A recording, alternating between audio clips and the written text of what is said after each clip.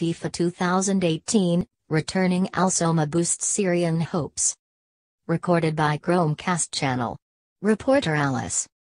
Even the most optimistic fans of Syrian football did not expect their national team to reach the third round of Asian qualifying for the 2018 FIFA World Cup Russia, and still be in with a historic chance of gracing the showpiece event with two games remaining.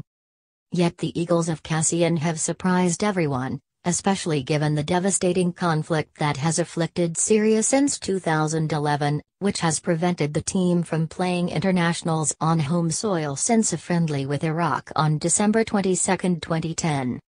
However, a recent friendly, again with Iraq, heralded better news for Syria fans, featuring as it did the presence of Omar Al Soma for the first time in five years. The striker last turned out for his country in 2012, when he helped them win that year's West Asia Football Federation Championship in Kuwait. Al Soma's comeback will certainly enhance Syria's attack and improve its chances of reaching Russia 2018. The team currently sit fourth in Group A with 9 points, 4 behind second-placed Korea Republic, who occupy the last direct qualifying berth. In their final two games, Syria take on Iran and Qatar. Al Soma's return was warmly welcomed by his teammates at their current training camp in Malaysia, which will host the Qatar fixture so vital to their dream of reaching the World Cup for the first time. After the friendly against Iraq, Syria's coach Ayman Al Hakim expressed his delight at Al Soma's return. The match was useful as it helped us assess the readiness of our players, he said. Add to that the participation of Al Soma, who played with the team for the first time since his return. Nicknamed Al Akad, Al Soma has established himself as a prominent striker in Asian football after winning the Saudi League's top scorer award for the past three years with club side Al Ahli.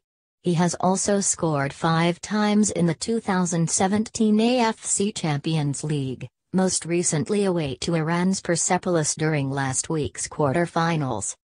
Al Soma's continental experience will provide a major boost to the ambitions of Syria, which has recently seen the return of several other seasoned players, headed by Firas Al Khatib, who scored the equalizer in the 1-1 draw with Iraq. Al Soma is hoping he can replicate the successes he has enjoyed in the Saudi and Champions Leagues with his national team.